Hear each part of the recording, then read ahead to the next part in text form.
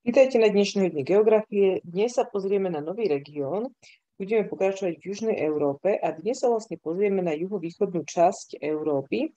Čiže stále sa budeme držať vlastne v oblasti Stredozemného mora, ale v tej, tomto regióne už teda sa nachádzajú aj čisto vnútrozemské štáty, ktorým sa budeme venovať. Čiže v našom pracovnom liste máme zapísané juhovýchodná Európa.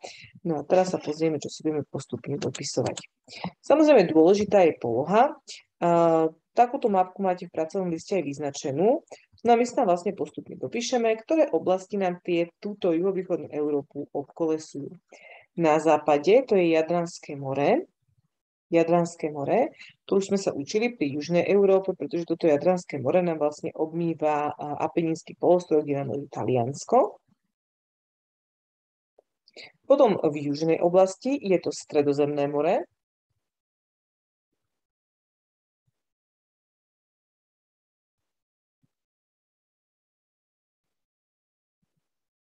Stredozemné more.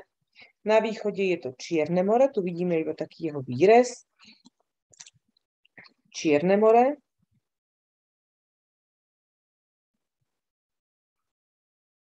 No a na severe je to stredná a východná Európa. Stredná a východná Európa.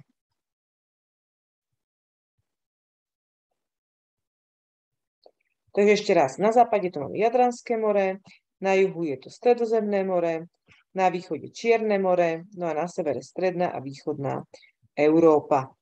Takže to máme polohu charakterizovanú. My sme si pri uh, tej Európe, napríklad Grécko z hľadiska kultúry, uh, zadelili teda do tej južnej Európy.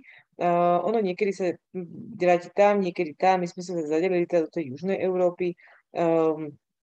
A zase z hľadiska geografického by nám skôr patrilo do tejto juhovýchodnej, pretože nám leží na tom Balkánskom polostrove, takisto vlastne na polostrove Pelopones a Chalkidiky, no ale tam naozaj záleží, tie delenia sú rôzne, čiže nie je to chyba zadeliť ho ani do juhovýchodnej Európy, ani do tej uh, južnej. Je to v poriadku v dvoch prípadoch.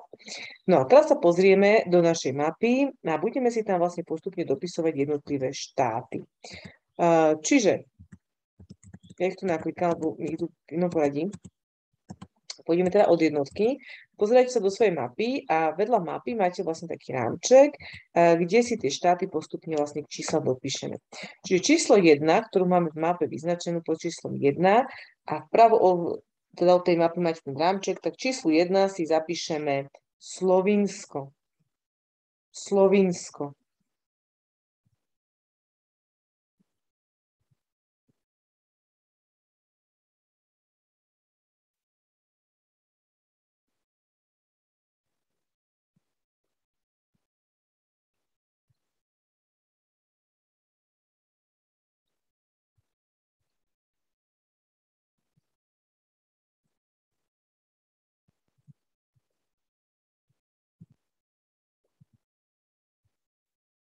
Slovinsko. Číslo 2, tam máme Chorvátsko. Chorvátsko.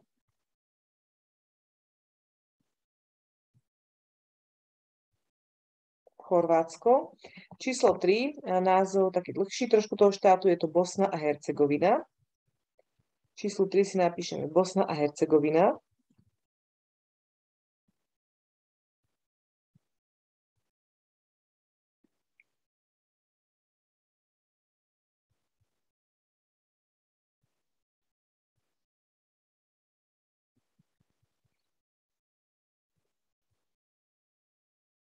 Bosna a Hercegovina. Pod číslom 4 je to štát Srbsko. Srbsko.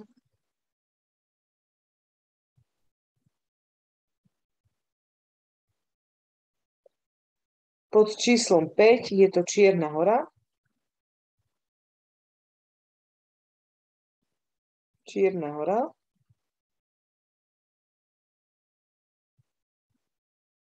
Čierna hora. Pod číslom 6 je to Albánsko. Albánsko.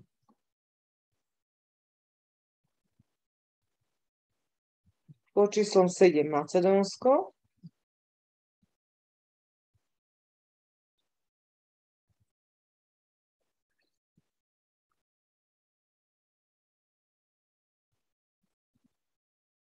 Macedónsko, pod číslom 8 je to Rumunsko, no pod číslom 9 uh, je to Bulharsko.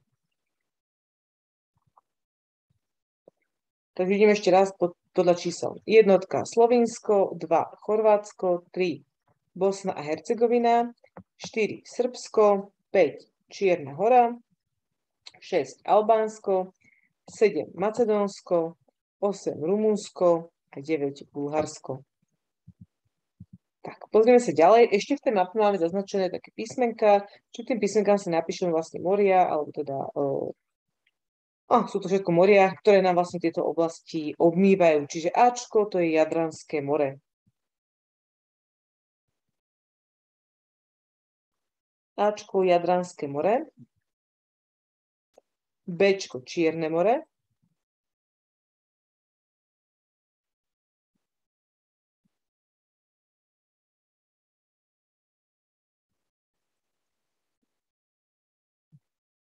Bčko Čierne more, Cčko Marmarské more,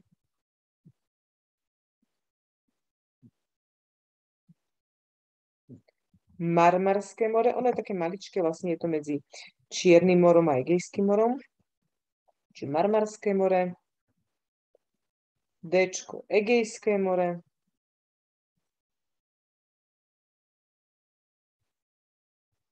a Ečko máme Jónske more.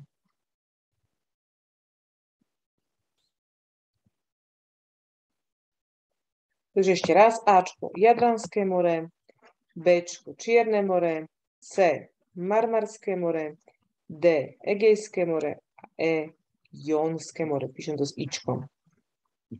Dobre, ak máme zapísané, pôjdeme sa pozrieť ďalej. No tu máme vlastne vlajky týchto štátov, zaradila sa nám Grécko, pretože z niektorých tých, hľadiska tých delení sa tam zaraďuje, z niektorých nie. Takže možno niektoré poznáte. E, tu prvú asi, hej, to je Chorvá- Grécko, Chorvátsko asi poznáte, Slovinsko, Bulharsko, Rumunsko, no tu máme Srbsko posledné. No a pozrieme sa teraz na tie jednotlivé štáty. Dnes si pozrieme štát Slovinsko, Chorvátsko, Albánsko a Srbsko, to sú tie menšie štátiky. Takže k Slovensku si k hlavnému mestu zapíšeme názov hlavného mesta, je to mesto Ljubljana. Čiže hlavné mesto Ljubljana. A budeme vedieť, že Slovensko je najvyspelejší štát v tejto oblasti. Slovensko najvyspelejší štát oblasti. Najvyspelejší štát oblasti. Významné historické mesto je mesto Maribor. Toto mesto sa nazýva niekedy ako mesto vína. No a cestovný ruch v Slovensku je mimoriadne dôležitý, nielen pre takéto krásne scenérie, ktoré tu vidíme, ale Slovensko je známe svojou krásnou prírodou a júlskými Alpami, ktoré sú mimoriadne populárne pre horolezcov, turistov a napríklad aj lyžiarov.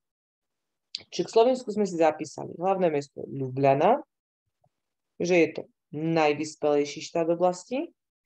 K historickému významnému mestu sme si zapísali mesto Maribor a k cestovnému ruchu sme si napísali Alpy.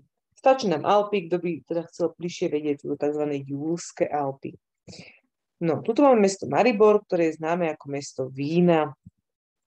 No a poďme teraz na Chorvátsko. Čiže píšeme si to, čo je hrubým zvýraznené a podčiarknuté. V Chorvátsku si zapíšeme, že hlavné mesto je mesto Záhreb. Záhreb. Tu máme vlastne aj chorvátsku vlajku, také typické vlastne mesto v Chorvátsku prímorské. Pobrežie Jadranského mora sa nazýva Dalmácia. Pobrežie Jadranského mora sa nazýva Dalmácia.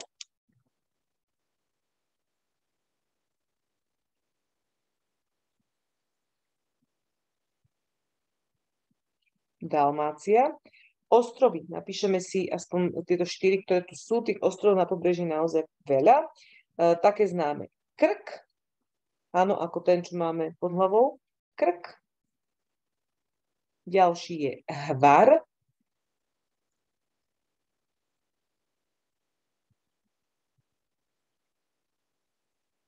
Krk, hvar, rab, rab, rab. A jeden pomenovaný podľa tvaru, Korčula. Čiže ostrovy, ešte raz diktujem, Krk, Hvar, Rab a Korčula. Významné mesta, ktoré tu sú, zapíšeme mesto Split, Split a rieka. Rieka, čiže Split a rieka.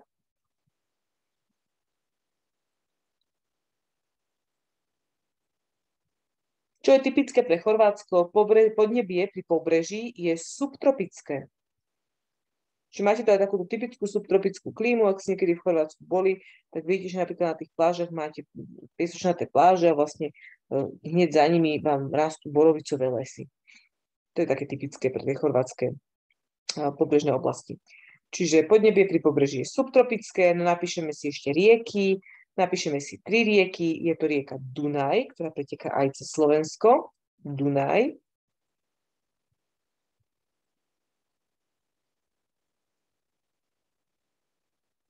Sáva, Sáva.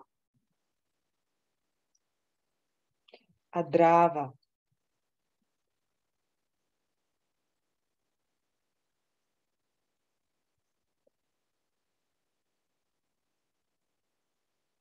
Takže ešte raz tie rieky Dunaj, Sáva a Dráva. No a zaujímavosťou v Chorvátsku je naozaj kopec. Ak tam chodívate na dovolenky, tak určite niečo budete vedieť, kľudne to k tomu dopíšte. Ale nám bude stačiť len takáto základná informácia, že Chorvátsko je teda zaujímavé a známe napríklad tzv. plitvickými jazerami. Je to jedna naozaj z mnohých atrakcií, ktoré lákajú turistov. Plitvické jazera.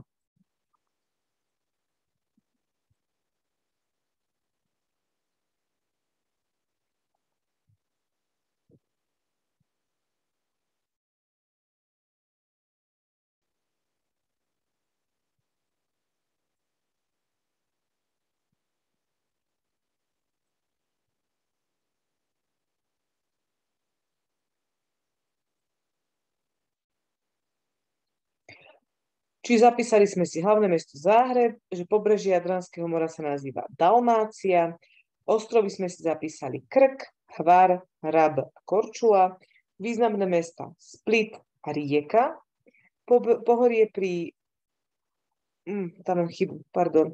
Takže pohorie pri pobreží som tam dala dvakrát to isté. Prosím vás, k pohorí pri pobreží si napíšte dináre. Popravte si to, prosím vás. Dináre je to s mekým i. Dináre. Omylom som tam dala dvakrát to isté. E, čiže pohorie pri pobreží nazývame Dináre. To ešte budete potom časom hľadať v mape. Dináre s mekým i. E, podnebie pri pobreží je subtropické. Rieky sme si zapísali Dunaj, Sáva a Dráva. No a zaujímavosti e, Plitvické jazera. Čiže prosím vás, dúfam, všetci ste si opravili tie, to pohorie pri pobreží sa volá Dináre s mekým i. Dináre. Dobre, ak máme Chorvátsko, pôjdeme sa pozrieť ďalšie. Je to štát Albánsko. K Albánsku z toho napíšem maličko, je to pomerne malý štát, má naozaj hornatý povrch. My si zapíšeme, že hlavné mesto sa volá Tirana, s mekým i, Tirana.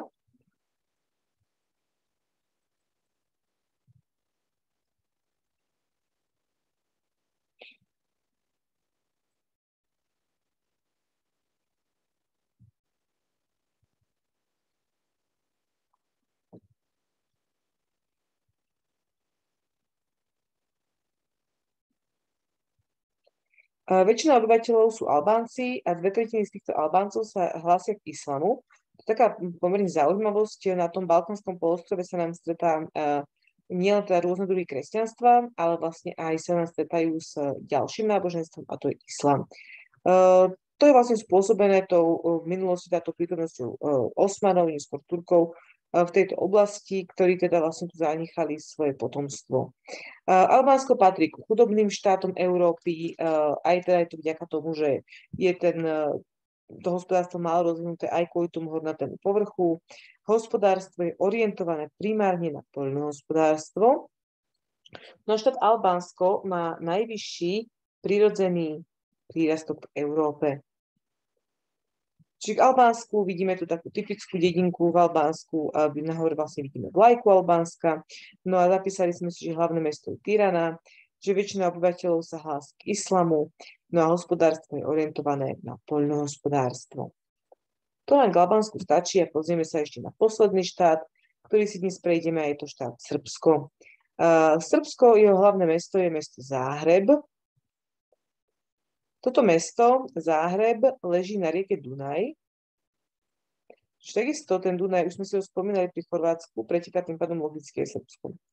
Um, máme tu dve oblasti. Uh, ako keby uh, tá južná oblasť uh, je tzv. Kosovom, Kosovo sa to označuje. Je to štát, ktorý sa formálne ostrhol od Srbska, avšak nie všetky štáty ho uznali. Napríklad také Slovensko Kosovo nikdy neuznalo, ani ho neplánuje uznať, pretože uh, táto oblasť sa vlastne odtrhla kvôli etnickým uh, vlastne rozdielom. No a keby vlastne my napríklad uznáme existenciu Kosova, tak by nám hrozí, že napríklad v niektorých regiónoch na juhu Slovenska by sa mohli prejaviť tie napríklad snahy niektorých obyvateľov Maďarska, odtrhnutie, čiže proste preto to Slovensko nikdy vlastne Kosovo neuzná. Mnohé štáty v Európe majú takisto podobné problémy e, s národnostnými menšinami, takže vlastne preto mnohé štáty Európy ho neuznali, ani ho nikdy neuznajú. E, sever Srbska je typicky pestovaním ovocia, e, je tam veľká nížina, kde sa teda vo veľkom pestuje ovocie, rôzne druhy. To sa vlastne spracúva či už konzervovaním alebo napríklad sušením. Známa oblasť v Srbsku je oblasť Vojvodina, je to oblasť, kde žijú vlastne rôzne národnostné menšiny, či už sú to Chorváti, Maďari, ale čo je pre nás zaujímavé, žijú tu aj Slováci. Centrom vlastne tejto vojvožiny je mestečko Nový Sad. No to vedieť nemusíme, či my sme sa zapísali Vojvodina ako oblasť, kde žijú aj Slováci. No a ešte sa pozrieme na dve zaujímavosti, ktoré sa viažú k Srbsku. Samozrejme, tých zaujímavostí je o mnoho, o mnoho viac, no ale to sú také asi naj, najznámejší ľudia, teda, ktorí nám pochádzajú zo Srbska. Je to tenista Novak Djokovic, ktorý je srbského pôvodu, no a čo to je súčasník, no a už niekto, kto teda uh, vlastne medzi nami nie je, je to teda vynálezca uh, Nikola Tesla, ktoré má, ktorý má aj teda srbské korene.